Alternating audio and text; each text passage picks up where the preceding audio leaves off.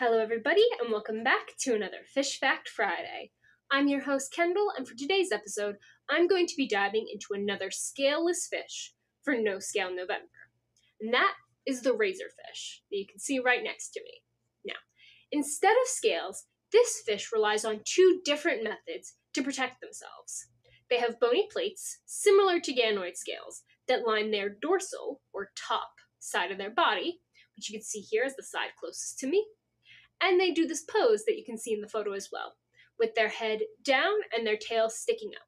Now, why do they do this? They actually do it to disguise themselves among the spines of sea urchins, as they're smaller fish usually found in shallower waters. This allows them to hide from predators and to find each other. Thanks for watching. Tune in next week for another Fish Fact Friday. Do you have a fish you'd like to learn more about? Make sure to comment down below. Don't forget to like, subscribe, and keep on swimming. Bye!